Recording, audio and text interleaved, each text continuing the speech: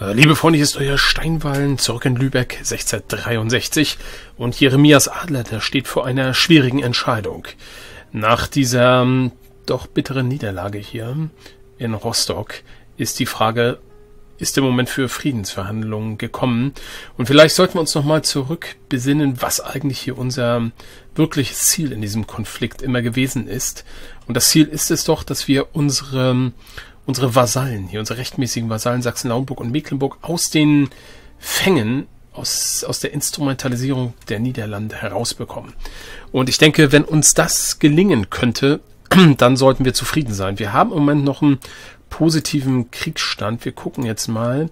Das Problem ist, also, ähm, wenn wir jetzt einen weißen Frieden machen, dann haben wir einen Teil des Ganzen erreicht. Aber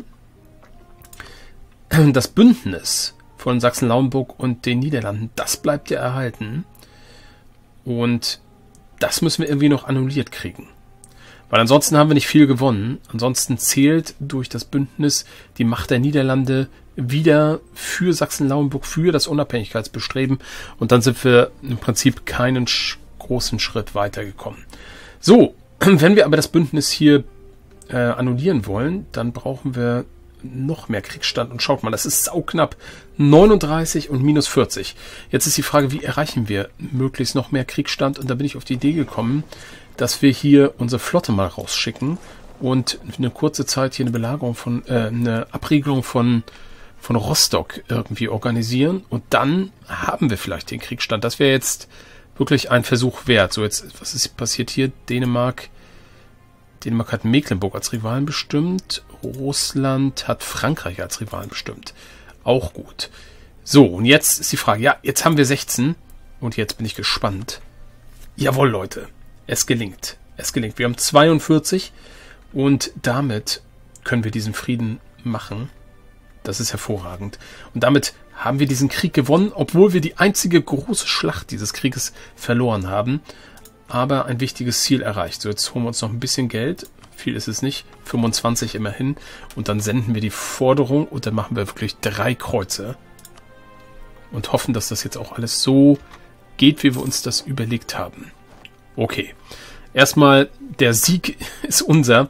60.000 Verluste auf unserer Seite. Wie viel waren es in Lübeck? 15.000. Naja.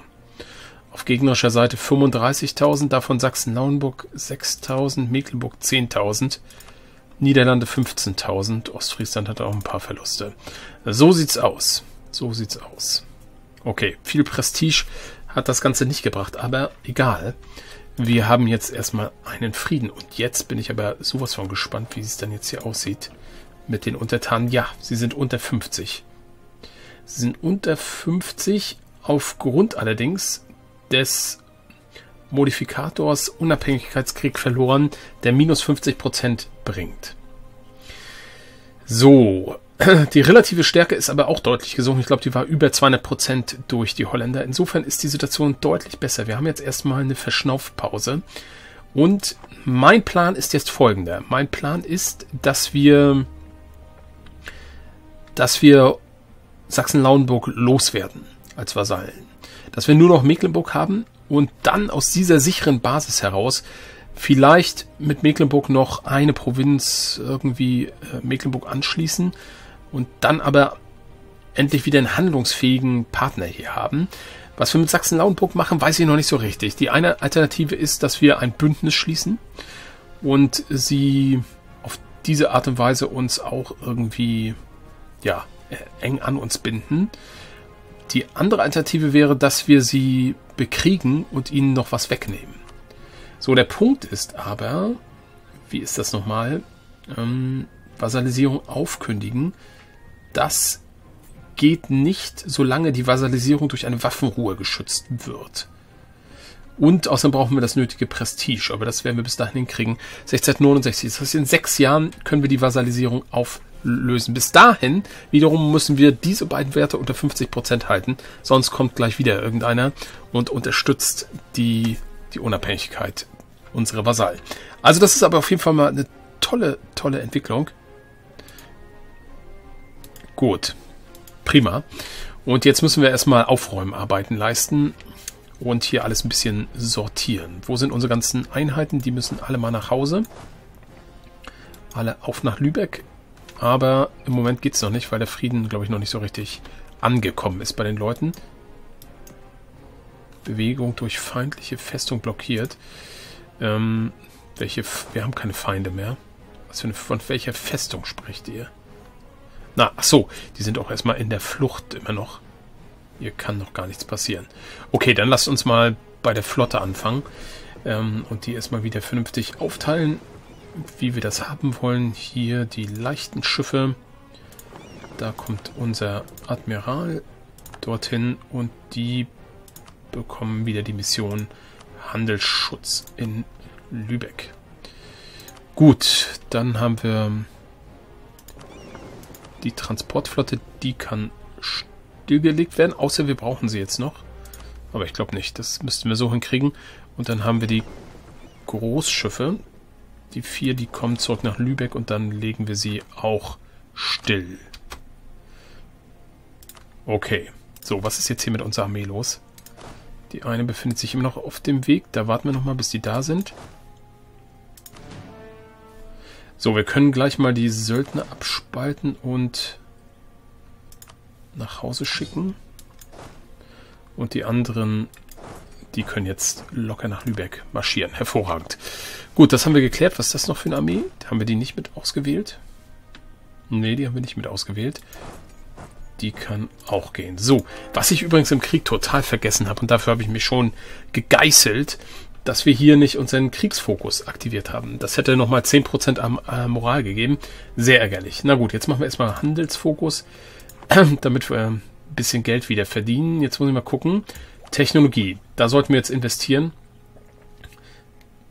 Nämlich in die Schebecke. Stufe 21 bringt uns dann jetzt wieder ordentlich Handelseffizienz, weil wir vor der Zeit sind. Ursprünglich von Barbaren Korsaren entwickelt war diese Galeere nicht mit so vielen Geschützen bestückt wie eine Galeasse, sie war jedoch kleiner und weitaus manövrier manövrierfähiger. Diese verbesserte Manövrierbarkeit führte zu einer weitaus gesteigerten Effektivität in der Schlacht. Und wir können jetzt den Ruf sabotieren, was eine schöne Sache ist. Was eine schöne Sache ist. Mal gucken wie wir jetzt diplomatisch überhaupt weiterverfahren. Das müssen wir uns auch nochmal angucken. Okay, also, hier haben wir erstmal unsere Einheiten. Die, wir haben ja Manpower, die lassen wir jetzt mal schnell auffüllen und dann müssen wir mal gucken, wie viele Regimenter, wie viele Regimenter können wir jetzt eigentlich haben? Das ist überhaupt nochmal eine gute Frage. Aber erstmal haben wir verbessertes Training.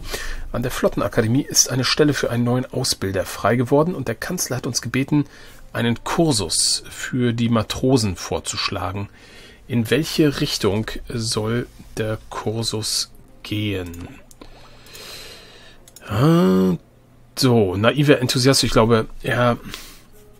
Ach so, aber das ist eine inhaltliche Entscheidung, nicht ob oder ob nicht. Patriotische Pflichten oder Seefahrtskunst. Ich würde mal sagen, das würfeln wir aus. Mal gucken, wie er da so tickt. Und es ist eine 6, das heißt Seefahrtskunst und Schiffswartung. Rumpfstärke erhöht sich und wir halten äh, Seeleute. Ja, da hätte sich die Moral erhöht. Okay. Gut. Genau, wir wollten jetzt hier ein paar Sachen uns mal angucken. Wie sieht's aus? 17 von 15. Also, das ist ja okay. Wir brauchen da nicht mal nachbauen, nachrüsten. Ein Schiff haben wir, glaube ich, jetzt sogar eins mehr. Aber das kann erstmal so bleiben. Gut. Wir haben jetzt zu viele äh, Beziehungen. Jetzt müssen wir mal gucken. Wir werden, jetzt ist überhaupt die Frage diplomatisch. Wie geht's jetzt weiter? Das ist jetzt ein ganz wichtiger Punkt. Wir haben ja jetzt erstmal keine Bündnisse. Ich würde gerne das Bündnis mit Preußen erneuern. Da, das kriegen wir vielleicht hin, indem wir erstmal hier den Militärzugang Schweden aufkündigen. Dann gucken wir mal, wie es jetzt aussieht mit dem Bündnis. 32 zu 58. Hm. Was ist das Problem? Unsere Armeestärke und das Vertrauen ist gesunken. Kommen wir hier noch mit Beziehungen weiter? Ne, wir sind schon relativ am Maximum. Wir könnten mit Reputation noch ein bisschen aufholen, aber keine, wow, keine 26 Punkte. Vielleicht verbessert sich das mit der mit der Armeestärke nochmal. Können wir hier möglicherweise unsere Haltung nochmal definieren. Vielleicht animiert sie das irgendwie langfristig. Also das wäre schon schön, wenn uns das gelingen könnte. Ähm, wie sieht es denn jetzt aus? Was haben wir noch hier mit den Beziehungen? Wir haben Pommern den Militärzugang und Preußen den Militärzugang. Hm. Also ich glaube, was ist denn jetzt überhaupt?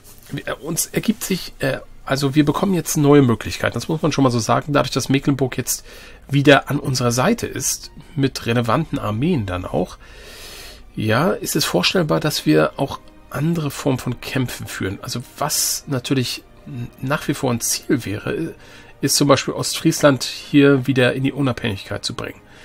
Was auch ein geniales Ziel wäre, wenn es uns gelingen könnte, die Niederlande noch häufiger in solche, in solche Stellvertreterkriege zu zwingen und zum Beispiel nacheinander Friesland, Geldern, Utrecht, Holland, das sind ja alles, ne, ich meinte Utrecht, ja, Utrecht, die haben ja alle eigene, eigene Claims.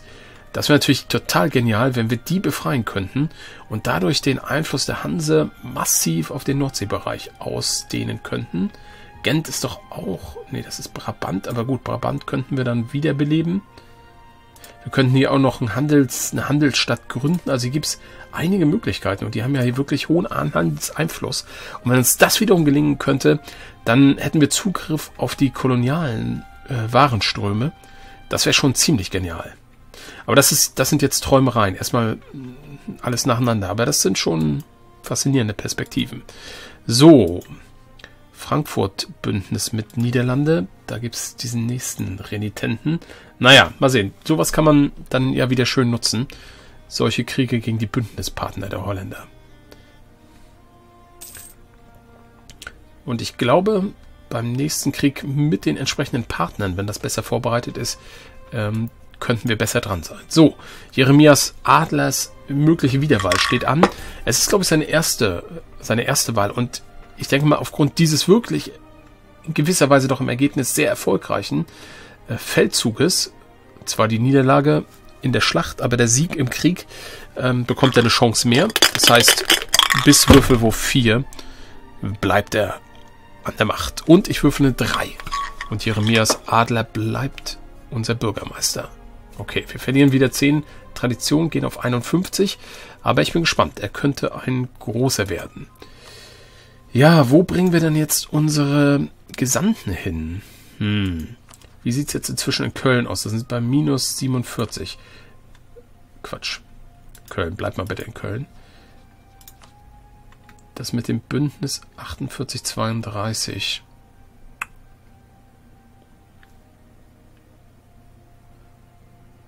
Ja, nee, diese minus 47, das ist ja das Problem. Gut, dann werden wir erstmal Standardkram machen, würde ich mal sagen. Wir gucken mal, wo wir vielleicht mal hier unsere Meinung, die Meinung von uns verbessern sollten. Ich meinte, als Option können wir ja schon mal einen Diplomaten nach Schweden schicken. Vielleicht ist es ja doch noch eine Option. Im Moment habe ich sie eher abgeschrieben als Partner.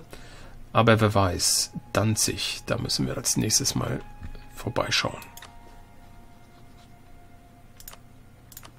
Und dann haben wir noch Spionagenetzwerke in den Niederlanden, aber ich glaube, das lassen wir einfach mal so und wir werden dann jetzt massiv gegen die vorgehen. Ruf äh, reduzieren und so weiter, Händler diffamieren, all solche schönen Sachen.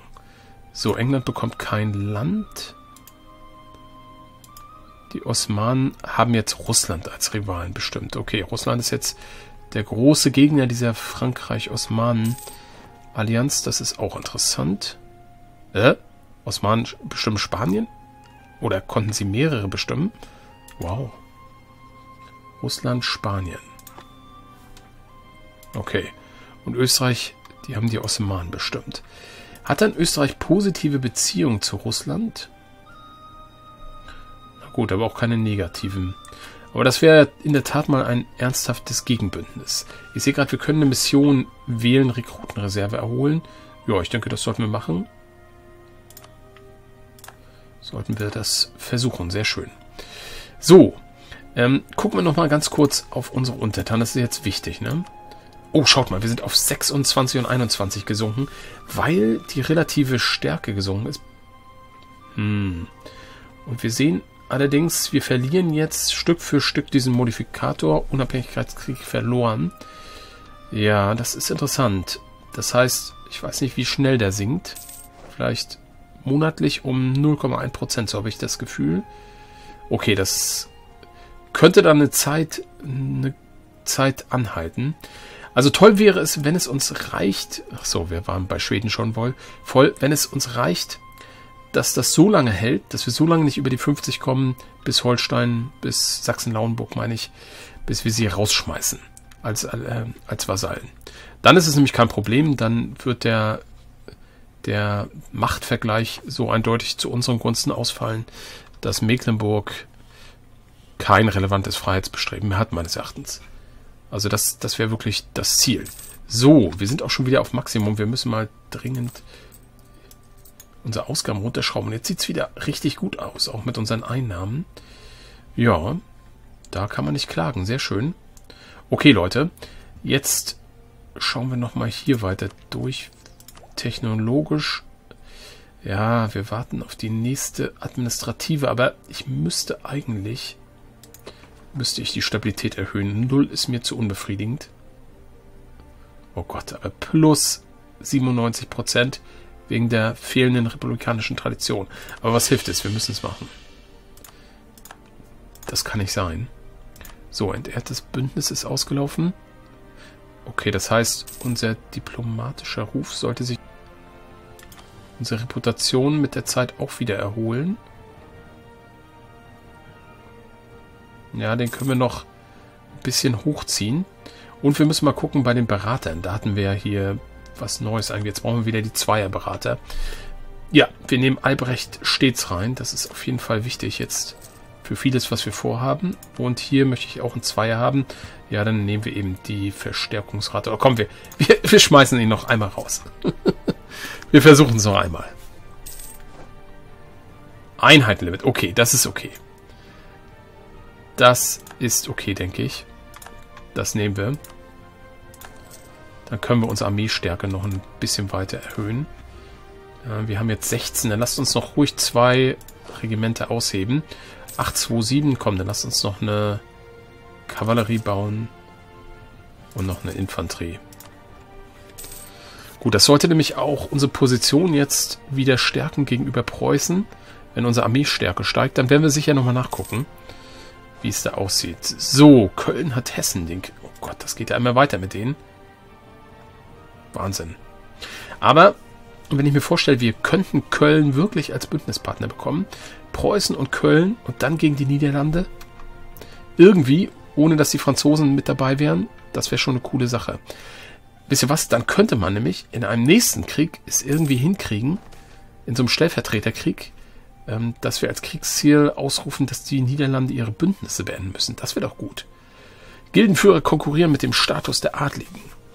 In Lübeck hat die Gegenwart der Gilden eine neue Art von Einfluss geschaffen, sowie eine neue Art einflussreicher Personen. Das Führungspersonal der Gilde von Lübeck wird nicht nur reicher als viele Aristokraten der Provinz, sondern sie haben auch Macht und das alles ohne die Familienbande. Vielleicht ist diese Art von Wechsel unvermeidbar, besonders wenn man den Charakter unserer Republik bedenkt. Wie dem auch sei, zu diesem Zeitpunkt ist nur eins sicher, die Adligen in Lübeck haben eine Aversion gegen diese ungehobelten Neureichen und möchten sie von der lokalen politischen Bühne entfernt haben. Ähm, also, adlig, das meint ja hier eigentlich, bei uns sind es ja nicht die Adligen, ne? Aber unser Bürgermeister kam doch, glaube ich, auch aus der Händlerfraktion. Ähm, insofern, diese Händler sind ja eigentlich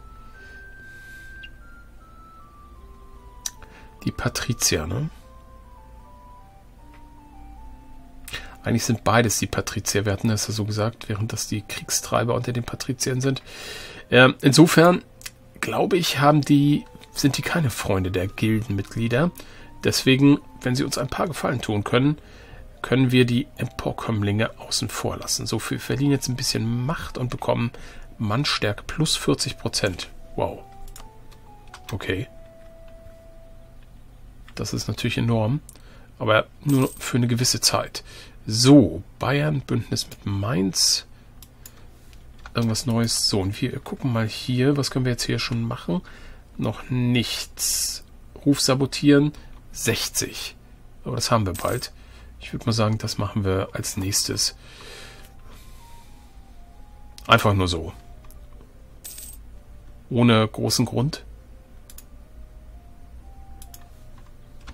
So, und wir gucken jetzt mal, wie es aussieht in Preußen, bündnistechnisch. Ob sich die Sache jetzt schon wieder ein bisschen 37,62. Ja, die Armeestärke, das hat sich verbessert. Aber irgendein anderer Modifikator ist jetzt weg. Wodurch sich das insgesamt nochmal verschlechtert hat. Na gut. Okay, Leute. Ich würde mal sagen, ähm, das war schon eine ganz interessante Sache jetzt in den letzten Jahren, was hier passiert ist. Äh, und wie gesagt, es ergeben sich ganz neue Konstellationen dadurch. Wir können jetzt auch mit gutem Gewissen äh, jetzt wieder in Mecklenburg zum Beispiel investieren, Gebäude bauen vielleicht sogar Entwicklung erhöhen. Das bringt ja übrigens auch reduzierte Freiheitsstärke, allerdings nur kurzfristig. Langfristig erhöht es hier das Freiheitsbegehren. Das ist auch ein interessanter Mechanismus. Aber schaut mal, die relative Stärke nimmt auch ab. Also das sieht ja schon richtig gut aus hier mit 10 und 17. Trotzdem, äh, wir müssen bedenken, diese 48 Prozent, die sind dann irgendwann weg. Und das heißt, dann sind sie bei 60, 55 und so. Also wir müssen, glaube ich, Sachsen-Lauenburg loswerden. Dabei bleibe ich. Das ist der Plan. Aber Mecklenburg können wir dann sicher noch ein bisschen größer und stärker machen. Ja, sehr schön. Und zusammen haben wir dann doch jetzt schon, nehmen wir an, wir haben nur noch Mecklenburg, dann sind es immerhin, ja, 33.000 Mann, die wir derzeit hier unterhalten. Das ist schon ganz ordentlich für uns. Okay, also die Staffel ist vorüber und ich hatte ja gesagt, ich entscheide von Staffel zu Staffel, ob es weitergeht. Ich glaube, es ist unbestritten, dass sehr viel passiert ist dass es keinen Grund gibt, jetzt aufzuhören und gerade vor allem vor dem Hintergrund, dass, dass wir ja noch interessante Möglichkeiten jetzt haben. Erstmal diese Operation mit Sachsen-Lauenburg und diese neuen Möglichkeiten mit Mecklenburg und so weiter. Also viele interessante Dinge liegen, glaube ich, noch vor Lübeck. Insofern freue ich mich auf die nächste Staffel. Bis dann, macht's gut, euer Steinwallen.